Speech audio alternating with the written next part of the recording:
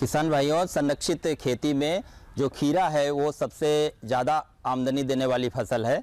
और इसको हम साल में तीन बार बो सकते हैं संरक्षित संरचनाओं में।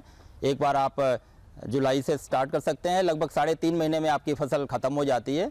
और इसलिए इसके बाद दूसरी फ़सल ले सकते हैं आप।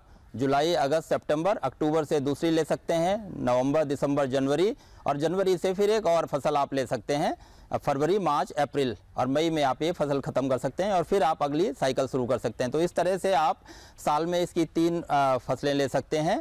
और जो खीरा है उसकी जो पौध रोपण है या तो हम सीधे भी कर सकते हैं लेकिन जब जुलाई अगस्त का महीना होता है बरसात का महीना होता है तो या फिर सर्दी का मौसम होता है उस समय हम इसको इसकी नर्सरी को जो है प्लग ट्रे में तैयार करते हैं और प्लग ट्रे से तैयार किए हुए पौधे जब दो पत्ती के हो जाते हैं उस समय हम उनको रोपित करते हैं और इसकी जो लगाने का दूरी होती है तो पौधे के पौधे की दूरी लगभग 30 सेंटीमीटर रखते हैं क्योंकि आपकी ड्रिप की जो आ, वो होता है आउटलेट होता है, उस पर तीस सेंटीमीटर या साठ सेंटीमीटर का होता है। तो जो खीरा है वो तीस सेंटीमीटर पर लगाते हैं, पौधे से पौधे की दूरी।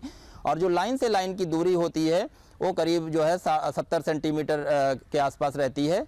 तो इस तरह आप इस इस फ़सल को रोपित कर सकते हैं। और प्रति पौधा इसमें लगभग आपको साढ़े तीन से साढ़े चार किलो तक उपज प्राप्त हो जाती है।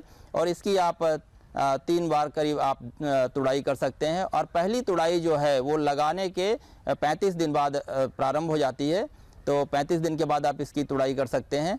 और इस तरह से ये एक बहुत ही ज़्यादा फ़ायदा देने वाली फ़सल है, जो कि हम तीन बार साल में ले सकते हैं।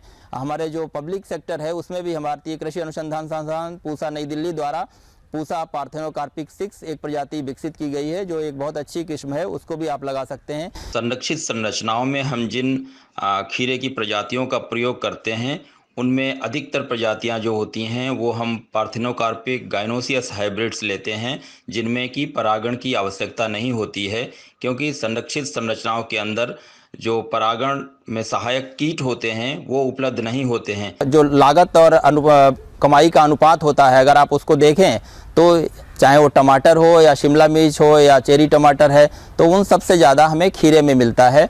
और इसमें हम जब एक रुपया खर्च करते हैं तो लगभग उसकी जगह पर हमें साढ़े तीन रुपये के आसपास जो है, वो आमदनी होती है। तो आपकी जो तीन गुने से ज़्यादा आपकी जो इसका जो कास्ट बेनिफिट रेशियो है या आमदनी खर्च का जो अनुपात होता है, वो लगभग तीन गुने से ज़्यादा का आता है। तो इसीलिए कहा जाता है कि ये सबसे ज़्यादा फ़ायदा देने वाली संरक्षित क्षेत्र की फ़सल है।